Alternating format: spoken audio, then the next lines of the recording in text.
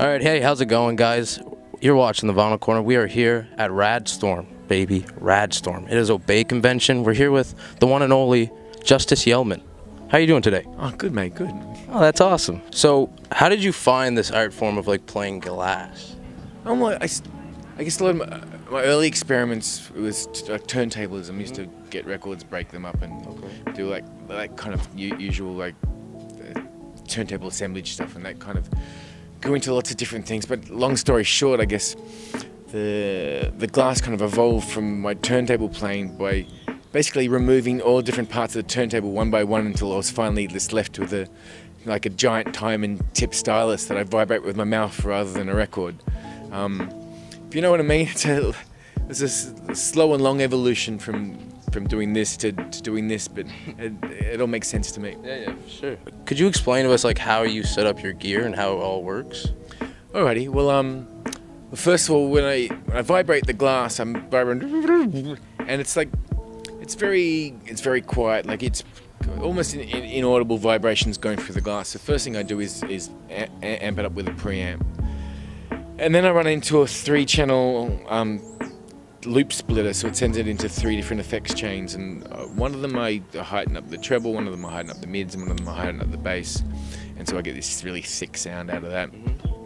And um, also use I a bit of octaving and pitch shifting to get rid of the, the get rid of the original pitch. That way, uh, it's less prone to feedback. Um, because when the speakers come out with the same frequency that's going through the glass, that's when you get the feedback. So if you can just pitch it up or pitch it down and, and not have it at that pitch, you have you can make a really loud sound with a contact microphone, and yeah, and it just it doesn't wail, or you can stop playing and you get you get, get silence. Um, that's it, just a technique. And other things I use the envelope filter. I love the envelope filters. So it's like, the whoop, whoop, whoop. like there's there's kind of round gloopy edges. Yeah. So when people first, when you like first perform this in front of people, what was their overall like expression? Like how do they feel about it?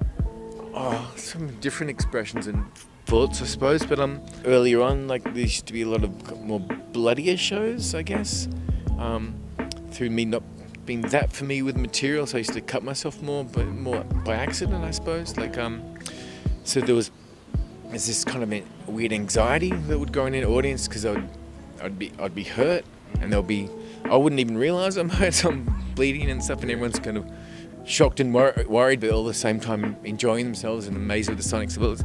So this kind of to and fro emotionally there.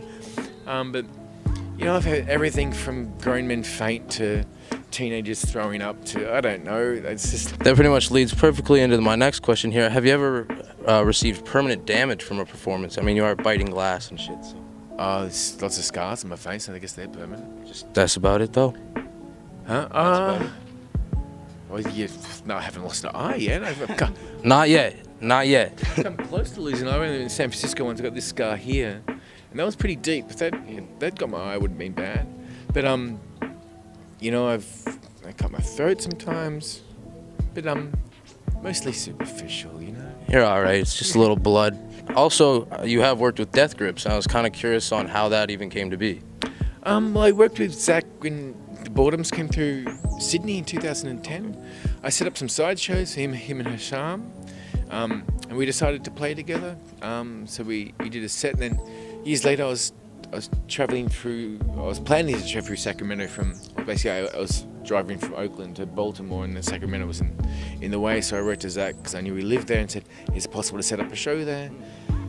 He said, "Nah, no shows here, but just come to my studio and record. I'd like to use your sounds in Death Grips." And so I went there, and did about two sets, like like sort of like that, about the same same length. I don't know, maybe shorter, really.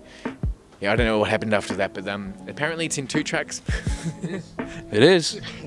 So, is this your first time in Halifax? it is, yeah, yeah. So how, how are you enjoying the city so far? It's colder than I expected. Like I was, I was, I was leaving the Australian winter, which is warmer than this, to a, a Canadian summer, which is colder than home. I wasn't even going to pack this jacket, but I thought, oh, I've got to get to the airport.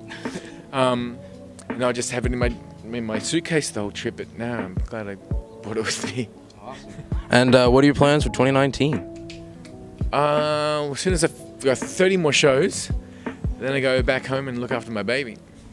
Perfect. Well, thank you very much for taking the time to take this interview. Goodbye.